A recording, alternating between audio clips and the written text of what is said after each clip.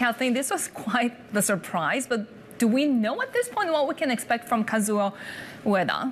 Well, I don't think we can exactly. We know what the challenges are he faces at a time when policy normalization has to start at some point at the same time when many economists, many policymakers are, would agree, maybe not just yet and certainly not quickly, while the markets want to push against that. At least that's what they're doing for the last couple of months for Governor Kuroda. But let's talk about who he is, first of all. He is Kazuo Ueda. He was a policy board member uh, back 1998 to 2005. Now, in those days, he helped inter, uh, in, introduced uh, quantitative, quantitative easing, the bond purchase program for the first time. Uh, he also uh, helped vote in negative rates, and these are things that carried over into Abenomics and Kurodanomics. Uh, asked just in the last couple of days when this news was uh, breaking that he is probably the nominee now from Prime Minister Fumio Kishida, he said current policy is appropriate, monetary easing needs to be continued at this point, and a policy review should be at some point done at some point point in the future.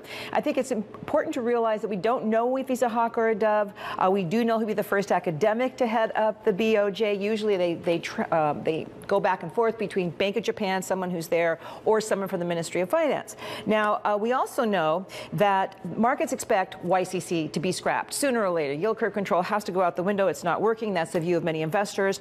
Uh, the LDP chief, just in the last 24 hours, Koichi Hagiuda, uh, said that uh, the, the LDP the government supports uh, monetary easing right now, so that's a, a, signal that the government's probably still leading in that direction. And one big reason for this is that uh, Japan has a very large government debt.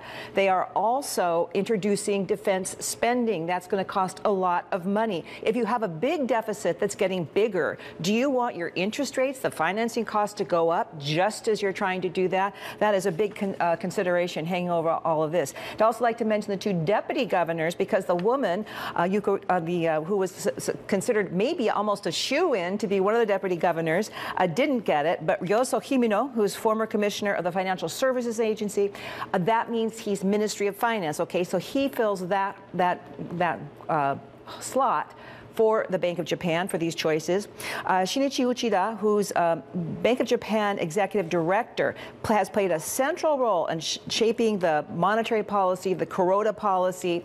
He is one who will be considered uh, the guy who's maybe going to help Mr. Uh, Ueda maneuver what's next with the policies, the monetary policies. So a lot going on at, one, at once, Haidi. Definitely a surprise, but it doesn't it feel like we're already getting used to it and trying to figure out just what's going to happen next?